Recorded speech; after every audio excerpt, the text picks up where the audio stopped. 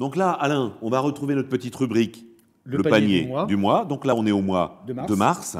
Tout à Donc dis-nous un petit peu Bah, quels sont ces, ces- ces produits spécifiques là que tu vas nous, Alors mars, nous parler. euh, on sort de l'hiver, euh, début de printemps, les premiers petits légumes, les bons légumes. Hein, on sort un peu, voilà. Donc je rappelle, on avait fait une émission avec Philippe Oda avec les mini légumes euh, maraîchers. Hein, donc je rappelle betterave, jojoba, euh, navet jaune, betterave jaune, brocolini, euh, mini fenouil, mini carottes, euh, voilà, petits légumes maraîchers. Ça, c'est maintenant disponible cette saison. Ensuite, on a aussi euh, une petite pousse qui s'appelle le mouron des oiseaux. Ah ouais. Voilà, très doux, très fin, euh, un, peu, une- un goût très, un parfum très discret.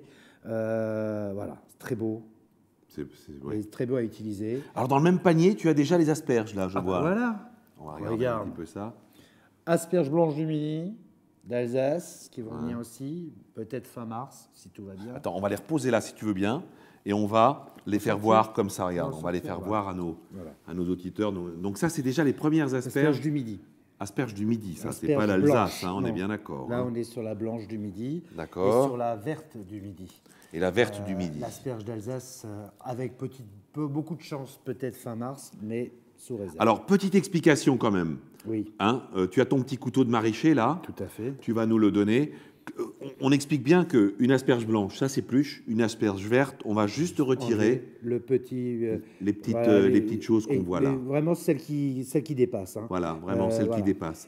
Pas plus, parce Non. que c'est dommage. Et hein. uniquement utilisée jusqu'au côté vert. Une fois que ça devient violet et blanc, on coupe. D'accord. On peut utiliser toute l'asperge, tout ce qui est vert.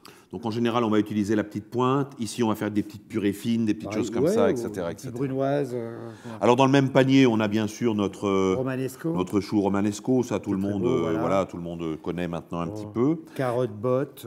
Carottes bottes, on va, Voilà, voilà, ça on les voit, hein, bottes. voilà. Si, euh, une petite particularité aussi, le petit radis doré, Ah oui, alors ça Voilà. c'est très drôle. Ça. le radis pourpre, Ah dans la ouais. famille, donc association, euh, variété de radis. On était à une certaine époque sur le radis japonais. Ça vient d'où ça? Alors ça vient du Var, Ah d'accord, donc de chez Philippe aussi. Oda, voilà.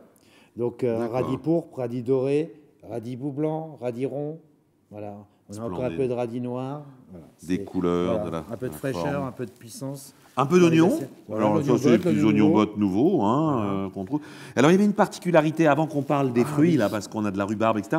Tu voulais nous faire voir quelque chose avec cette nouvelle salade. Les nouvelles là. variétés de salade qu'on vous propose. euh, donc, euh, il suffit simplement d'enlever le petit morceau de racine. Et hop. Voilà, regarde. On peut la laisser tomber sur la carotte, regarde. Tous ces feuilles. Plus une seule perte. On Incroyable. tout. La multifeuille. La multifeuille. Oui, multifeuille, parce que là, on a vraiment plus aucune côte épaisse dure. Ouais. Et on a donc euh, quatre, quatre variétés comme cela. Il y a de la laitue, une variété de lolo, une variété de... Attends, je la cherche. Elle est là. Voilà. Hein? Attends, on va t'enlever ça. Ouais, Voilà.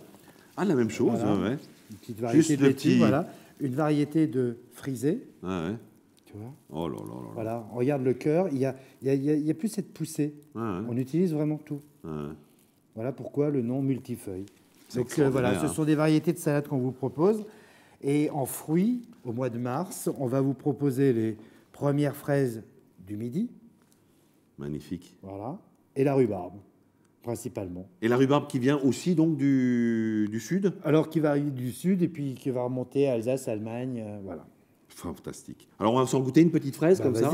Tu disais qu'on peut les goûter comme ça. Celle-là, oui. Et donc, on vous rappelle, pour tous les renseignements nécessaires, la SAPAM est à votre disposition. Voilà. Les commerciaux du Grand Est tous sont à votre sont à votre disposition.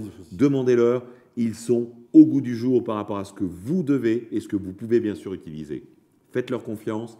Ils sont super. On croque. On y va. À À bientôt. Au revoir. Ah ouais. Que du bonheur.